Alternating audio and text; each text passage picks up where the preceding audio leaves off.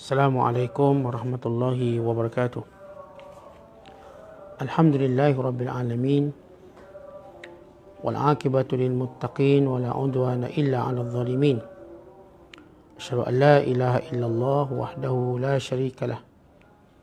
Wa asyhadu anna Muhammadan 'abduhu wa rasuluh. Allahumma salli wa sallim wa barik ala sayyidina Muhammad wa ala alihi wa sahbihi ajma'in wa ba'du. وقال المصنف رحمه الله تعالى ونفعنا الله به وبعلومه في الدارين أمين Berkata Imam Al-Allamah Abdul Qasim Abdul Karim bin Hawazin Al-Kushairi Semoga Allah Ta'ala merahmatinya dan kita mendapat manfaat serta barakah ilmunya. Diriwayatkan oleh Abu Hurairah radhiyallahu taala anhu bahawa Rasulullah sallallahu alaihi wasallam bersabda Allah Taala berfirman Aku adalah sebagaimana yang disangka oleh hamba-Ku dan aku akan bersamanya bila mana dia mengingatiku. Jika dia mengingatiku dalam hatinya maka aku akan mengingatnya dalam diriku. Jika dia mengingatkan aku di tengah kumpulan orang banyak, maka aku akan mengingatnya di tengah kumpulan yang lebih baik dari itu. Jika dia datang kepadaku sejarak satu jengkal, aku akan mendatanginya sejarak satu hasta. Jika dia melangkah kepadaku satu hasta, aku akan melangkah kepadanya dua hasta. Jika dia datang kepadaku dengan berjalan, aku akan datang kepadanya dengan berlari. Diceritakan bahawa suatu ketika Ibnu Mubarak sedang bertempur melawan salah seorang tentera kafir. Ketika tiba waktunya bagi orang kafir itu untuk sembahyang, dia meminta waktu kepada Ibnu Mubarak. Yang disebut akhirnya ia pun membiarkannya melakukan sembahyangnya. Ketika tentera kafir itu sedang bersujud ke matahari, Ibnu Mubarak merasakan keinginan untuk menikamnya dengan pedangnya. Namun tiba-tiba dia mendengar sebuah suara di angkasa yang berseru. Wa aufu bil ahd. Innal ahda kana mas'ula. Dan penuhi janji. Sesungguhnya janji itu pasti akan diminta pertanggungjawabannya. Maka Ibnu Mubarak pun lalu menarik kembali pedangnya. Ketika si penyembah berhala selesai bersembahyang, dia bertanya kepada Ibnu Mubarak, "Mengapa kau tidak melaksanakan niatmu. Ibnu Mubarak mengatakan kepadanya tentang suara yang didengarnya. Si penyembah berhala berseru betapa sempurnanya Tuhan yang memarahi temannya demi membela musuhnya. Lalu dia pun masuk Islam dan menjadi seorang Muslim yang sangat baik. Dikatakan, Allah menjadikan manusia melakukan dosa ketika dia menamakan dirinya yang maha pengampun. Dikatakan seandainya Allah mengatakan aku tidak akan mengampuni dosa, saya tidak seorang Muslim pun yang akan pernah berbuat dosa. Sebab ketika dia mengatakan, Inna Allah la yaghfiru an yushraka bih. Allah tidak akan mengampuni manusia yang menyengutukan dia. Kaum muslimin lalu tidak pernah menyengutukan dia. Tetapi ketika dia mengatakan, Wa yaghfiru ma duna dhalika liman yasha' Tetapi dia mengampuni segala dosa yang selain dari syirik itu bagi siapa yang dikehendakinya. Maka manusia pun lalu berharap memperolehi pengampunannya memperolehi pengampunannya. Ibrahim bin Adham pada suatu ketika aku sedang menunggu waktu luang dan tenangnya orang di sekitar Kaabah. Saat itu adalah malam yang gelap gulita dan hujan turun dengan lebatnya. Akhirnya tempat itu pun sepi dan aku pun lalu mula melakukan tawaf sambil berdoa ya Allah lindungilah aku dari dosa lindungilah aku dari dosa lalu aku mendengar suara yang mengatakan wahai ibnu adham engkau meminta kepadaku untuk melindungimu dari dosa sebagaimana doa orang-orang yang lain tetapi jika aku jadikan kamu semua tanpa dosa lantas kepada siapa aku harus bersikap maha pengasih ketika Abu Abbas bin Suraij menderita sakit yang akhirnya membawa mati. Dia bermimpi bahawa hari kebangkitan telah tiba. Allah yang Maha Kuasa bertanya di manakah para ulama itu. Semua ulama termasuk diriku maju ke depan. Allah Ta'ala bertanya, apakah yang telah kamu lakukan dengan ilmu yang telah kamu pelajari? Kami semua menjawab, wahai Tuhan, kami telah berbuat lalai dan kami telah berbuat jahat. Maka Allah pun mengulangi lagi pertanyaannya seolah-olah dia tidak menyukai jawapan yang telah kami berikan dan mengendaki jawapan yang lain maka aku pun maju ke depan dan menjawab mengenai diriku maka catatkan amalku tidaklah mengandungi dosa menyekutukan sesuatu denganmu dan engkau telah berjanji bahawa engkau akan mengampuni semua dosa selain itu Allah Ta'ala berfirman pergilah kamu semua aku telah mengampunimu Abu Abbas meninggal dunia tiga malam setelah mimpinya. Pada suatu ketika ada seorang pemabuk yang mengumpulkan teman sekelompok teman-teman pemabuknya. Dia memberikan wang empat dirham kepada salah seorang budaknya, yakni hambanya. Dan menyuruhnya pergi membeli buah-buahan. Si budak pergi. Di tengah-tengah jalan dia melewati Madis Mansur bin Ammar ketika Mansur sedang merayu meminta kepada orang banyak untuk memberikan sedekah kepada beberapa orang pengemis dengan mengatakan Barang siapa yang memberikan empat dirham, aku akan memanjatkan empat doa untuknya. Si budak memberikan wang empat dirham itu untuknya. Yang dibawanya kepada Mansur. Yang lalu bertanya kepadanya, Doa apa yang kau inginkan dariku? Si budak itu menjawab, Aku ingin bebas dari tuanku. Mansur mendoakan hal itu lalu bertanya lagi, apa lagi? Si budak menjawab, aku ingin agar Allah memberikan ganti wang empat dirham itu. Mansur mendoakan hal itu. Dan aku bertanya lagi, apa lagi? Si budak berkata, aku ingin agar Allah menyedarkan tuanku supaya bertaubat. Mansur mendoakan hal itu. Lalu bertanya lagi, apa lagi? Si budak menjawab, aku ingin agar Allah mengampuni dosaku dosa tuanku, dosamu dan dosa semua orang yang ada di rumah tuanku itu. Mansur mendoakan hal itu. Si budak lalu pulang ke rumah tuannya. Ketika tuannya bertanya kepadanya mengapa dia begitu lambat pulang. Si budak menceritakan apa yang telah dilakukannya. Tuannya bertanya, dan doa apa sahaja yang kamu mintakan? Si budak menjawab, saya minta didoakan supaya bebas dari pembudakan, yang perhambaan. Tuannya berkata, kamu telah kubebaskan. Dan apa permintaanmu yang kedua? Si budak menjawab, agar Allah memberi saya ganti wang empat dirham itu. Tuannya berkata, kuberikan kau wang empat ribu dirham. Lalu apa permintaanmu yang ketiga? Si budak menjawab, agar Allah menyedarkan tuan supaya mau bertaubat. Tuannya menyatakan, aku bertaubat kepada Allah Ta'ala. Apa permintaanmu yang keempat? Si budak mengatakan agar Allah mengampuni aku, orang-orang yang ada di rumah ini dan juga Mansur.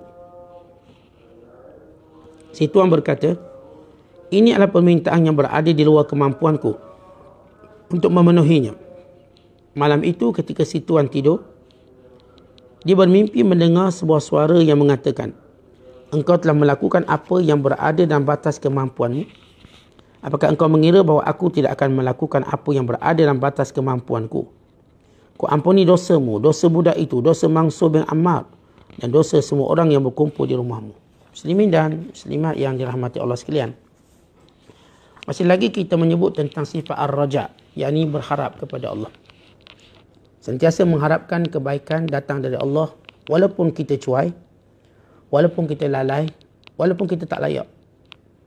Namun kita melihat sifat pemurah Allah, sifat penyayang Allah, sifat pengampuni Allah di luar batasan pemikiran kita.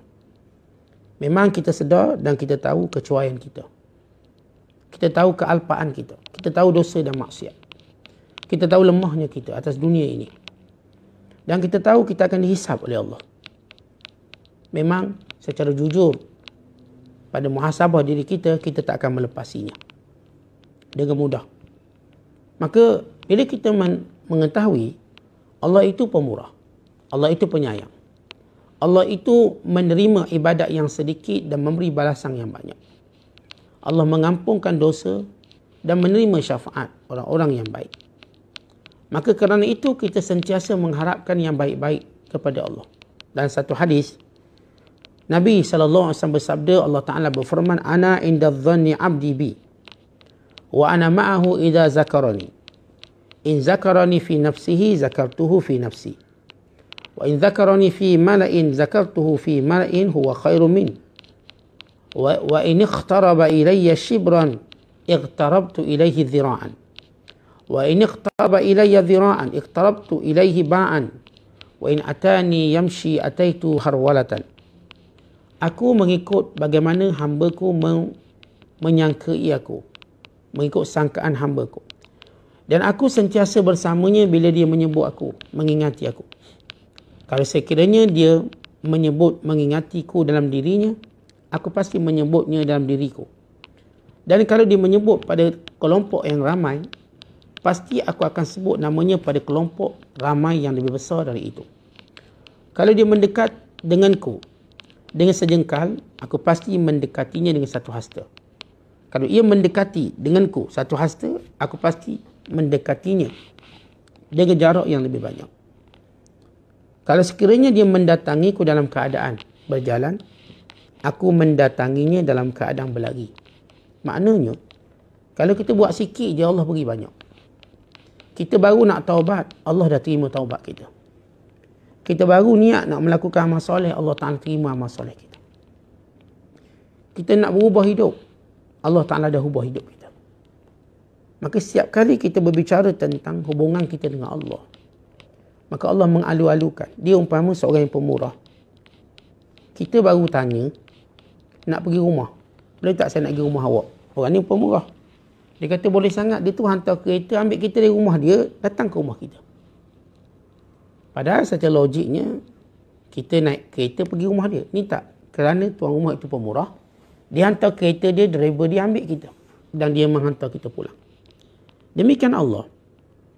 Ketika mana kita ingin sedikit dekat dengan Allah, Allah dekat dengan kita lebih banyak.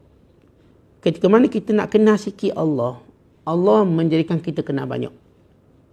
Betapa luasnya kurnia Allah Ta'ala. Sebab itu tuan-tuan, dalam hati kita biasa sentiasa ada keinginan nak buat baik. Keinginan nak bertaubat. Keinginan nak gunakan umur-umur yang Allah berikan pada kita memperbanyakkan bekalan. Nescaya Allah Taala akan menolong kita, membantu kita. Memberikan kelapangan, memberikan kekuatan tubuh badan. Menjumpai kita dengan orang baik. Kadang kita baru nak berubah. Maka Allah dah jumpakan kita dengan orang-orang soleh. Kadang kita baru nak belajar, Allah dah jumpakan kita dengan guru-guru, tuan-tuan guru yang baik. Bagi memberikan kita ilmu. Demikian bagaimana pemurahnya Allah Ta'ala pada hamba-Nya. Satu kisah Abdullah bin Mubarak. Abdullah bin Mubarak terkenal sebagai ulama, sebagai dermawan dan sebagai mujahid. Dia berperang dengan Rom. Berperang dengan orang kafir. Ketika berperang, orang kafir itu dah kalah. Dia kata, Tuan izinkan saya sembahyang dulu ikut agama saya. Jangan bunuh lagi saya. Kata Abdullah Barak, ya silalah. Maka orang ni pun, dia sembah pada matahari. Dia solat, dia sembahyang, cara dia. Abdullah bin Barak terdetik. Eh, ni buat benda syirik, benda jahat ni. Tengah dia sujud, rasa nak pancung kepala. Ni buat benda yang syirik pada Allah. Tiba-tiba dia terdengar suara berkata, Wa'aufu bil'ahd. Innal ahda kana mas'ula tepati janji. Janji itu akan ditanya oleh Allah walau pada musuh. Tepati janji. Akhirnya beliau tak jadi bunuh. Lelaki yang menyembuh matahari itu, dia perasan Abdullah bin Barak ni cabut pedang. Lalu dia bertanya, kenapa Tuan tidak meneruskan hajat Tuan membunuh saya? Lalu katanya, memanglah saya nak bunuh. Tiba-tiba saya ditegur dengan satu suara supaya saya menepati janji. Lalu kata penyembuh matahari ini, hebatnya agama Tuhan. Hebatnya Tuhan yang Tuhan sembah. Kalau macam tu dia jaga musuhnya dan menegur temannya, maka ia pasti satu agama yang baik. Maka dia terus memeluk Islam. Dan lihat bagaimana kita katakan sifat pemurah, penyayang, pengampung Allah Ta'ala di luar batasan. Kadang-kadang kita ingat orang ni dah ahli neraka tapi kesudahannya dia beriman di Islam. Kadang-kadang kita dah tak letak harapan pada dia. Tiba-tiba datang hidayah Allah. Yang penting muamalah kita dengan musuh sebagaimana Allah perintah. Islam tak ajar kita muamalah dengan musuh untuk kita menghina setiap masa. Tidak, ada waktu dia. Kadang-kadang ada muamalah yang lembut. Ada muamalah mana kita memberikan hak dia. Sebab itu orang bukan Islam yang duduk dalam negara Islam yang disebut zimmi, kafir zimmi. Dia ada hak untuk dihidup. Hak untuk dibebas. Bukan hak untuk dia melaksanakan agama dia mengikut syarat-syarat yang tertentu. Ada satu kisah lagi yang menarik. Bila Syekh Abdul Qasim Al-Qushari menceritakan kisah Ibrahim bin Adham. Ibrahim bin Adham satu hari tuan-tuan dia nak tawaf di Kaabah dia tunggu orang tak ada dulu.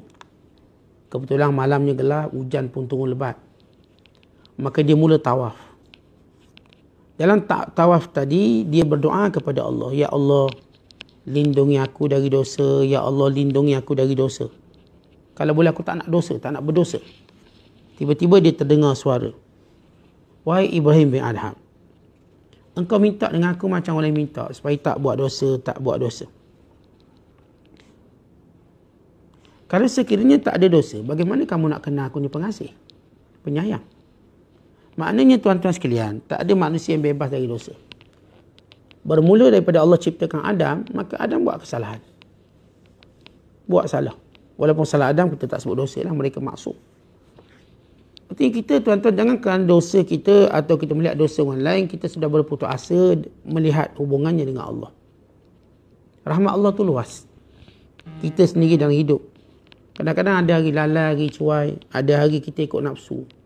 Kita buat maksiat jenis tu, maksiat jenis ni. Tapi lihatlah keampunan Allah. Sentiasalah mengharap keampunan Allah. Sebab itu disebut dalam hadis. Bila seorang itu melakukan dosa, dia mohon ampun kepada Allah. Allah Ta'ala berkata, hamba ku melakukan dosa. Dan dia memohon ampun padaku dan dia mengetahui tidak ada yang mengampuni dosa melainkan aku, maka aku mengampuni dia. Lalu orang ni buat dosa lagi. Lalu Allah Ta'ala berkata, hamba ku melakukan dosa. Dan dia bertaubat kepadaku. Dia mengakui tidak ada yang mengampunkan dosa melainkan aku. Maka aku ampunkan dosa. Kemudian dia buat dosa lagi. Maka Allah Ta'ala berkata, apa saya kamu nak buatlah, aku telah mengampuni dosamu. Maknanya tuan-tuan sekalian. Kita dalam hidup kita, muamalah kita, kita tengoklah sejumlah orang yang buat dosa-dosa tertentu. Kita juga buat. Jangan sesekali kita berputus asa dengan rahmat Allah untuk kita dan untuk dia. Anak kita tak semayang. Ustaz, anak saya tak semayang. Pakai tatu. Anak saya Ustaz, dia belasah orang tu. Dia ambil duit orang ni. Allah, saya takut. Kita katakan, lihatlah rahmat Allah yang luas. Semoga Allah mengampuni dia. Allah mengubah perangai dia. Kadang-kadang kita kata, Ustaz, suami saya tak semayang. Suami saya ni mabuk. Berjudi. Suami saya begitu, begini kita katakan jangan berputus asa dengan sifat rahmat Allah.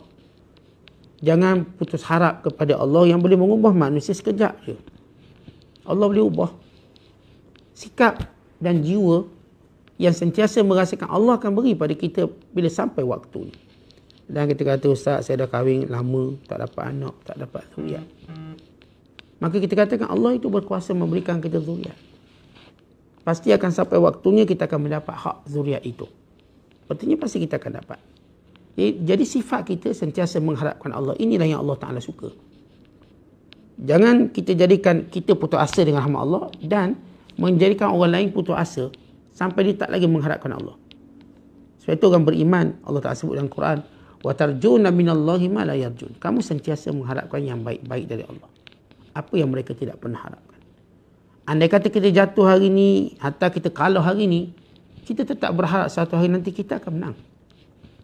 Anda kata hari ini tuan-tuan sekalian, kita buat perkara tertentu yang kita tak mampu berhenti, kita yakin satu hari nanti kita akan ada kekuatan berhenti benda-benda macam ni. Maka ini namanya mengharapkan Allah Ta'ala. Ada satu cerita juga menarik. Itu Abu Abbas bin Suraish, seorang ulama syafi'i yang terkenal yang meninggal tahun 306 Hijriah. Sebelum dia mati tiga hari, dia bermimpi bermimpi berlaku kiamat. Kata Imam Muhammad bin Sirin, siapa yang bermimpi kiamat itu bermakna agamanya nak jadi baik. Tapi Abu Abbas bin Surash ini memang orang alim, warak, soleh, wali Allah. Dia bermimpi berlaku kiamat. Bila mana berlaku kiamat, lalu Allah Ta'ala berkata, mana para alim ulama? Mana ulama? Sebab kita dalam hadis, ulama-ulama ni akan dihisap dulu. Ulama dihisap dulu. Dermawan dan orang yang mati syahid. Akan ditanya ilmu dia buat apa. Lalu para ulama ini waktu dihimpunkan di hadapan Allah, dan Allah Ta'ala tanya dan kadang Allah Ta'ala tahu jawapannya, apa yang kamu lakukan dengan ilmu yang kamu ada? Ilmu yang kamu pelajari. Buat apa? Lalu mereka berkata, Ya Allah, kami lalai dengan ilmu kami. Kami cuai. Kami jahat. Lalu Allah Ta'ala ulang lagi. Seolah-olah kata Abu Abbas As-Suraj, Tuhan tak suka jawapan tu. Jawapan tu nampak putus asa. Lalu Abu Abbas kata, aku pun ke depan. Dan aku berkata, Ya Allah, aku mengenali, mengenai diriku, Ya Allah, aku nak cakap tentang aku, maka catatan amalku tidak mengandungi dosa menyungutukan sesuatu denganmu dan kau janji akan ampun selain itu. Ya Allah, memang aku tak banyak buat baik, tapi dalam catatan aku, aku tidak pernah syirikkan kamu dan engkau berjanji akan ampunkan segala dosa yang lain. Maka Abu Abbas boleh jawab macam tu, Allah Ta'ala berfirman padanya, pergilah kamu semua, aku sudah ampuni kamu. Maka selepas tiga hari, beliau meninggal dunia. Maknanya tuan-tuan sekalian, Ya kalau kita nilai diri kita yang saya sebut dosa kita banyak daripada kecil sampai sekarang. Tapi bila kita ingat janji Allah, Allah cuma tak akan ampun dosa syirik. Yang lain-lain Allah Ta'ala akan ampun. Maka itulah yang menjadikan kita bersemangat. Sebab itu bila dekat nak mati, kita dianjurkan untuk menanamkan rasa harap seorang itu pada Allah. Memanglah kita tahu dia teruk semayang subuh pun lewat. Dia pun jenis belajar pun tidak tak pernah nak berubah. Tapi kita kata, Mak, Allah berjanji. Kalau kau tak syirikkan Allah, dosa lain Allah akan ampunkan. Moga Allah ampunkan semua dosamu. Kerana Allah itu pengampung dan penyayang. Tentu ini menjadikan seorang tu merasa gembira. Kerana itu bila kita bermuamalah dengan orang yang melakukan dosa, jangan kita bercakap semua, ah bila kamu dosa banyak, memang neraka jahanam bawah sekali. Jangan macam tu. Neraka syurga urusan Allah. Cuma kita ambil satu statement, kalau kita buat baik, Allah beri kita syurga. Kalau kita buat jahat, moga Allah ampunkan kita. Kita tak kata dah buat jahat dan mengaku dah. Moga Allah ampunkan. Sifat harap ini perlu ada. Dan sifat harap ini perlu kita warwakan kepada semua orang. Habis Ustaz nanti dia buat dosa, nanti dia terus mendudukan maksiat. Kita katakan tidak. Bila dia mula mengharapkan Allah, dia akan berubah. Orang yang terus buat dosa sebab dia tak harap lagi Allah. Tapi bila dia mula rasa Allah akan ampunkan dia, Allah akan terima kebaikannya, maka dia akan berubah daripada sifat yang asal. Ada satu kisah juga menarik. Yang berlaku pada seorang ulama bernama Mansur bin Ammar yang meninggal tahun 225 Hijriah. Mansur bin Ammar ini seorang ulama soleh, doanya mustajab. Ada seorang tu dia mabuk. Maka dikumpul kawan-kawan dia mabuk dalam rumah. Kemudian disuruh hamba dia beli buah. Beri empat dirham pergi beli buah. Dah mabuk-mabuk nak makan buah. Lalu budak ni pun pergi nak beli buah kat pasar. Ketika mana dalam perjalanan dia tengok Mansur bin Ammar sedang bersama dengan orang miskin yang amat memerlukan bantuan. Lalu kata Mansur bin Ammar, siapa yang boleh tolong orang miskin ini, aku doakan dia. Siapa yang boleh beri empat dirham, aku doakan untuknya empat doa. Kebetulan budak ni bawa empat dirham dan pengemis yang ada keliling Mansur bin Ammar empat orang. Maka budak ni kata, saya akan berikan. Maka dia beri satu dirham, satu dirham. Lalu kata Mansur bin Ammar, sekarang mintalah doa apa kamu nak. Biasa kita dengar jing nak bagi tiga permintaan. Itu mengaruk. Ini doa. Yang mustajab. Yang selalu kita jelaskan kalau kita jumpa ulama-ulama. Maka doa. Benar doa semua Allah mustajabkan insyaAllah. Tapi doa ulama itu lebih dekat lebih hampir dekkan kedudukannya di sisi Allah Taala. Maka sebab itu menjadi kebiasaan kita minta para ulama doa. Itu benda biasa yang tak dapat kita nafikan secara akal dan syarak. Dan Mansur bin Ammar kata sebut empat permintaan doa. Maka dia kata aku nak pertama supaya Allah merdekakan aku. Merdekakan aku. Yang kedua, aku minta empat dirham aku bagi tadi Allah ganti lebih baik. Dan yang ketiga, aku nak Allah Ta'ala jadikan tuan aku bertaubat. Dia mabuk minum arak. Dia ditaubat. Yang keempat. Yang keempat aku minta Allah Ta'ala ampunkan dosaku. Dosamu, wahai, mak, wahai mangsu. Dosa tuanku dan dosa seluruh ahli keluarga dia. Yang duduk dalam rumah dia. Lalu mangsu pun doa. Budak ni pun balik lambat sebab jumpa dengan Mansur bin Ammar radhiyallahu taala. Bila dia balik, lalu kata tuan dia, "Kenapa kamu balik lambat?" "Ambak balik ni kenapa?" Maka jawabnya, "Saya tadi lalu jumpa dengan Mansur bin Ammar. Dia minta sedekah untuk diberikan pada fakir miskin, jadi saya bagi semua duit." Lepas tu kamu buat apa?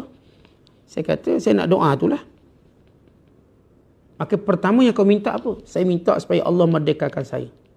Tuhan ni kata kamu saksi bahawa aku dah merdekakan kamu. Ha, terus mustajab. Aku merdekakan kamu. Yang kedua. Yang kedua saya minta Allah ganti duit yang saya sedekah tadi. Lalu kata Tuhan ni nak ambil 4,000 dirham. 10 kali ganda. Daripada 4 dirham. Beri apa ni. Kita katakan hampir 100 kali ganda. 4,000 dirham. Kemudian dia kata apa lagi? Saya minta dia doa biar Tuhan bertaubat. Tuhan ni asyik minum arak je. Dia taubat. Lalu kata, lelaki ini, aku bertaubat pada Allah. Yang keempat, yang keempat saya minta Allah Ta'ala ampunkan saya.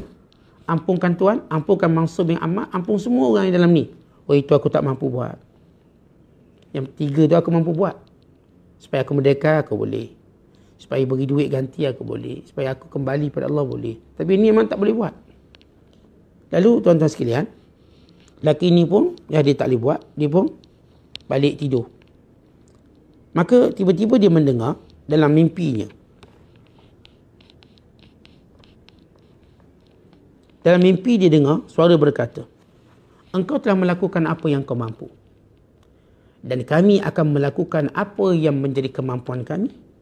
Dan saksikanlah kami ampunkan dosamu, dosa budak itu, dosa mangsa bi'amah. Dan dosa seluruh orang yang berada dalam rumahmu. Masya Allah. Cerita yang menakjubkan daripada empat dirham menjadi orang yang bertakwa kepada Allah. Sebab itu tuan-tuan hebatnya sedekah dan hebatnya doa dan hebatnya bila kita bertemu dengan orang-orang soleh. Jadi kerana itulah kita berusaha untuk sentiasa berharap yang baik-baik kepada Allah. Dan kita lakukan kebaikan, ketaatan kita pada Allah. Dan kita tuan-tuan sentiasa minta doa daripada para alim ulama. Mudah-mudahan mereka mendoakan kebaikan pada kita, dunia kita akhirat kita wallahu a'lam bissawab assalamualaikum warahmatullahi wabarakatuh